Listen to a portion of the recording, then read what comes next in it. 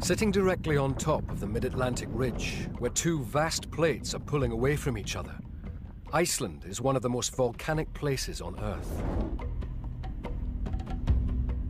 In 1783, the plates are particularly restless. As they lurch violently apart, a 30-kilometer crack in the Earth's surface, known as the Laki fissure, rips open. Along its length, 130 bubbling craters spew out billions of tons of molten rock. And will continue to do so for eight fiery months.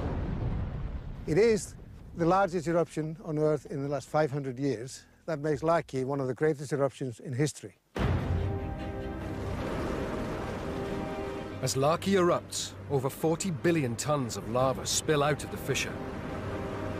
Enough to engulf a city the size of Chicago. Normally, when lava is exposed to air, it cools and solidifies, which limits how far it can travel.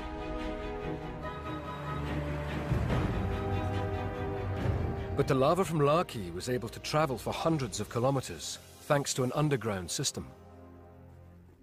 Led by local guide Bjorn Hjorsen, Thor explores the remnants of this subterranean network, known as lava tubes.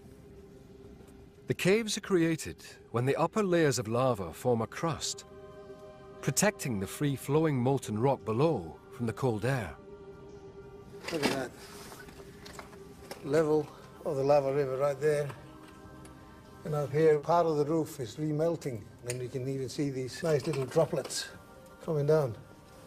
It shows how hot this environment was at the time, how hot the lava is, how hot the gas is right above the lavas, because to form this, the temperature needs to be at 1100 degrees C.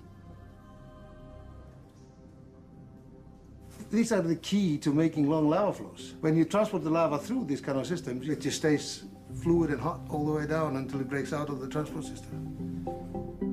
Traveling through the tubes, Laki's lava spreads over 60 kilometers before eventually resurfacing. In total, the molten rock razes 20 villages to the ground. Laki also hurls out millions of tons of ash and toxic gases, poisoning the soil and crops. Three quarters of Iceland's sheep and more than half of all its livestock die. The people soon follow.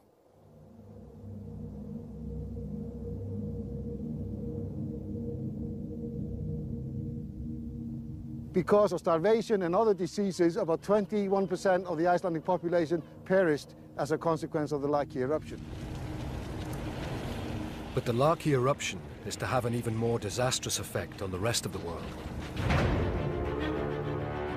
Although remote, Icelandic volcanoes can have far-reaching consequences, as recent events prove. The cloud from Laki engulfs a vast part of the Northern Hemisphere and carries with it something far more deadly than just ash. A total of 120 million tons of sulfur dioxide were emitted into the atmosphere where it reacted with atmospheric vapor to produce sulfuric aerosols. These aerosols block the sun's heat, causing global temperatures to plummet. In Europe, the cold causes intolerable food shortages. Some experts believe these drove hungry peasants in France to rise up, eventually leading to the French Revolution of 1789. Across the Atlantic, temperatures also dropped dramatically. On the eastboard of North America, the winter 1783-84 is the longest and the most severe on record. It was so cold that people saw ice floes on the river Mississippi. Laki's malign influence on the climate throws monsoon cycles into disarray, leading to widespread crop failure. Up to a sixth of Egypt's population, and many more across India and North Africa, die from starvation. So in total, Laki may have caused death of almost 2 million people in 1783. Despite its remote location, Laki had a profound effect on the entire planet. It disrupted global climate and caused deadly famines as far away as Africa and Asia. Its impact on nature, the atmosphere and the weather, people and history, in my view, makes this one of the most important natural disasters of all times.